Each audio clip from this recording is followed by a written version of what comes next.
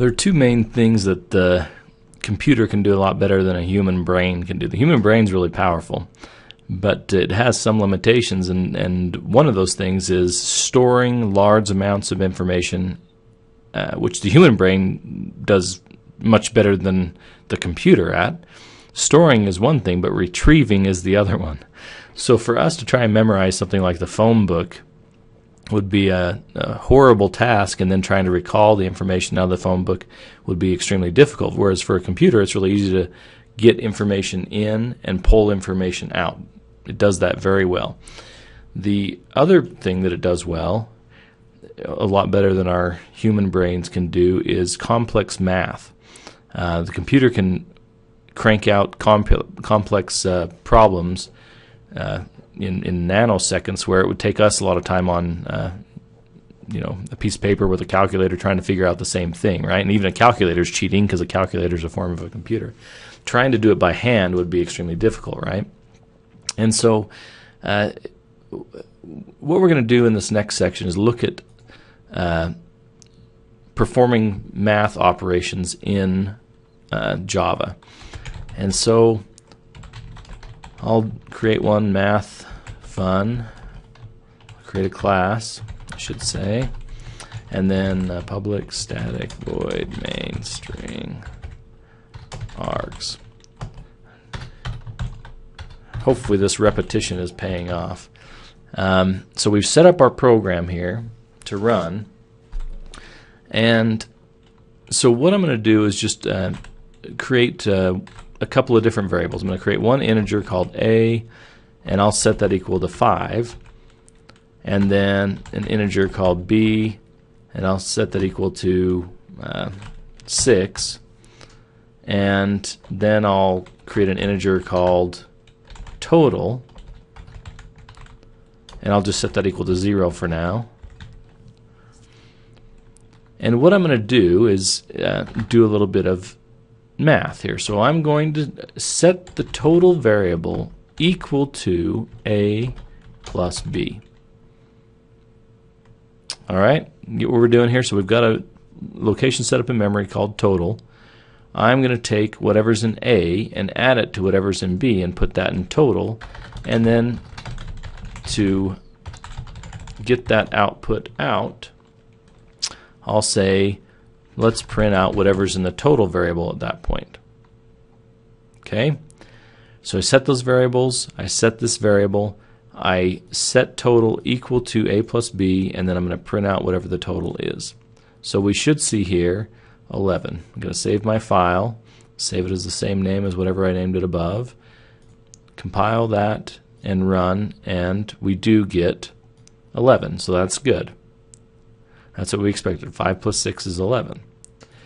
Let's take a look at a minus b instead. So we're going to take a minus b. Now these symbols are exactly like you'd expect. There's a plus and the hyphen is the minus, right?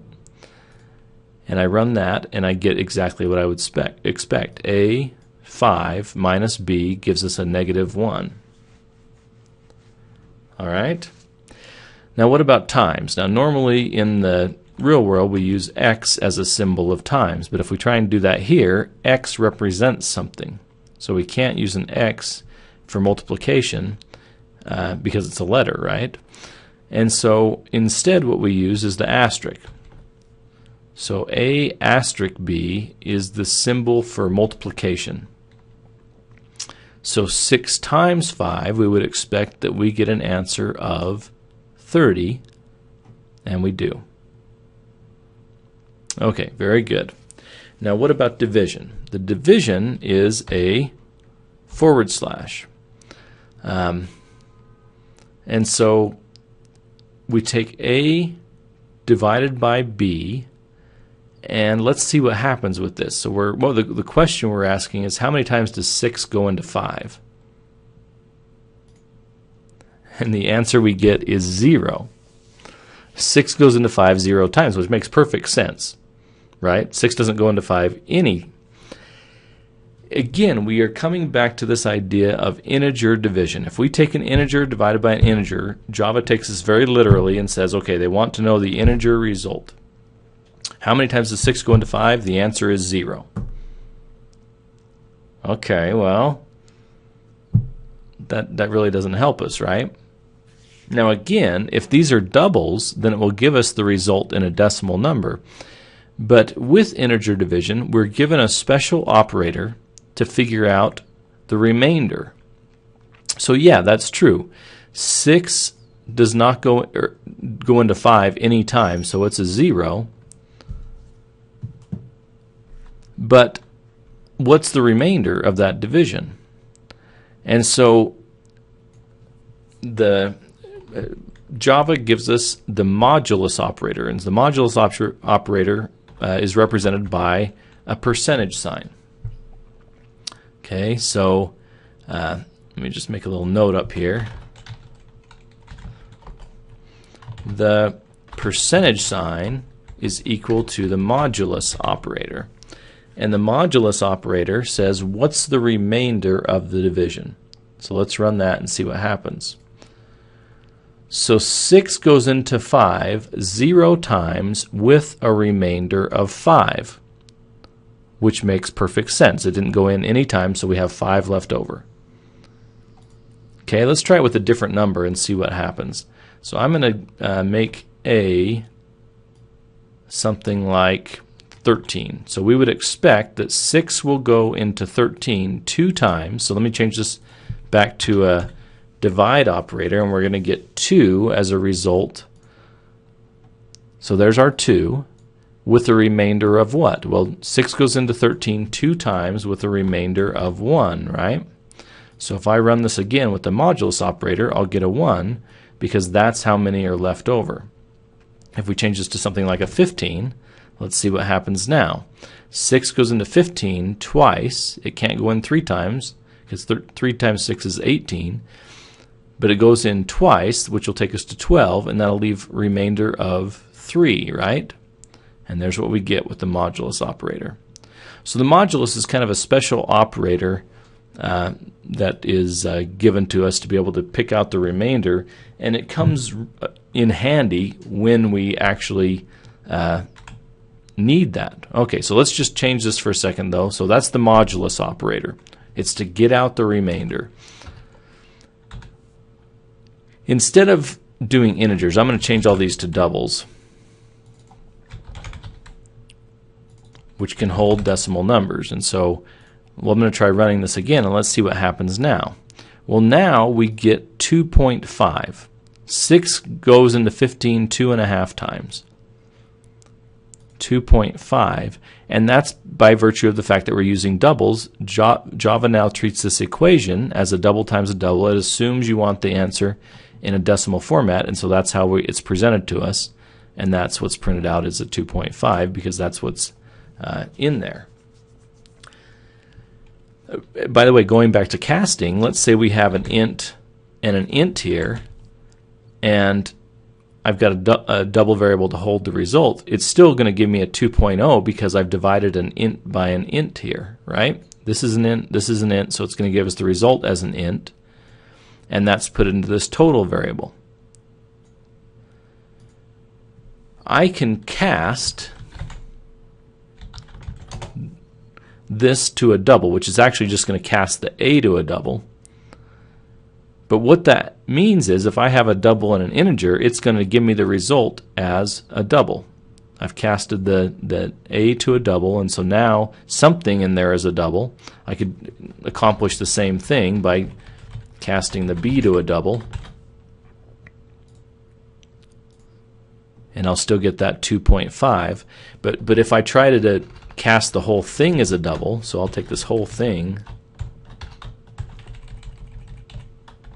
and cast it as a double by enclosing it in parentheses and do that, then I'm still getting a 2.0 because it's integer, integer division here, and then it's just casting the 2 that came out of this equation to be a double. All right, so a few other things that we want to uh, to know to do. Let's uh, go ahead and get rid of this. And then what I'm going to do is just use this a variable. And I'm going to set the a variable equal to 1. Okay, and then I'll just print out the a variable instead. Okay, so if I print this now, it's just going to print a 1. What if I want to increase a by 1? What would I do? If, if you've got if you're following along with this, pause the program or this video for a minute and try and do that. Okay?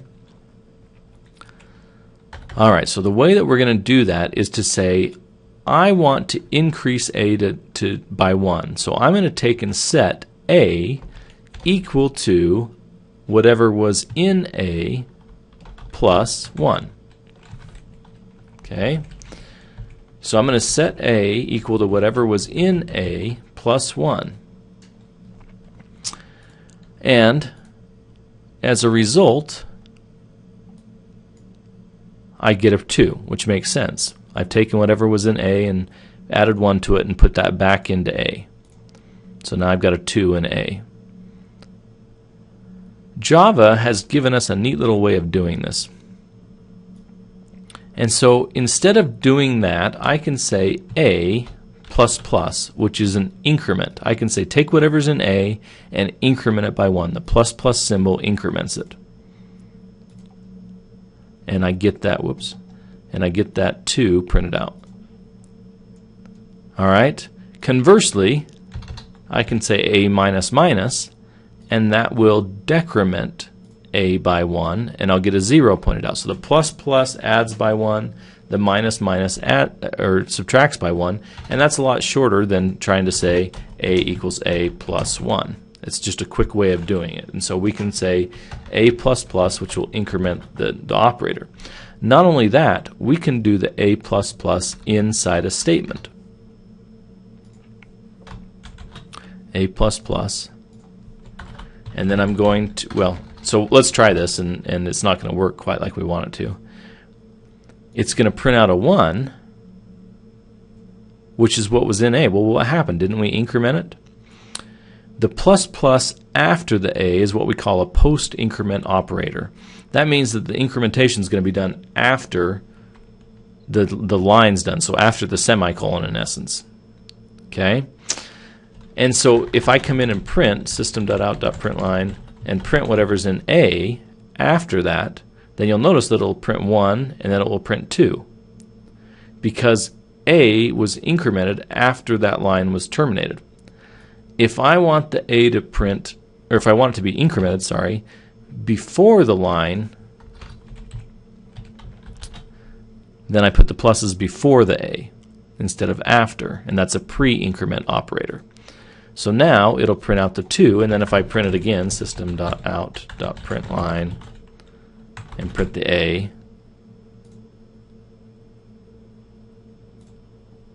then we're going to get that 2 printed out here, and then a 2 printed out again, because that's what's in A. We incremented it before we printed the first time. Okay, and it works exactly the same for the decrement operator. One last thing. I can take and and do a similar operation by um, let's say I want to take whatever's in A and set it equal to whatever was in A multiplied by 5 let's say and then print out that result. So I'll print out whatever's in A and what I get was a 5, and that's what I expect. A 1 times a 5 is a 5. There's a shorthand way to do this as well. I can say times equals 5. So take whatever's in A and times equals 5. And if I run this, then I get a 5 as well. And so that's a shorthand way of, of doing the formula. You can divide equals, you can plus equals, you can minus equals.